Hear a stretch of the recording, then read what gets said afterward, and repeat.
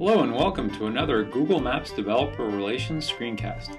My name is Andres Ferrate, and today I'll be talking about our new events feature in the Google Places API.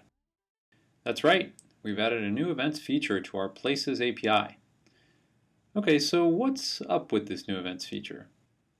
Well, with this new events feature, your users can add, delete, find, and check into events and places using the Places API service say, for example, a donut shop.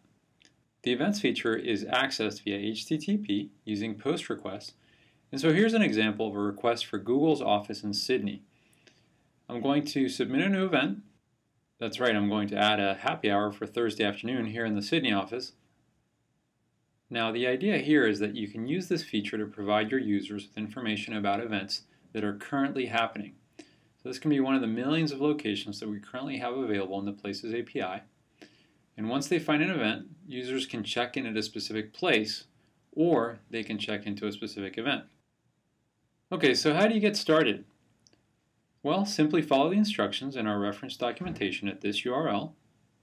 And by the way, this is found at our new home at developers.google.com. So yeah, check it out and let us know what you think.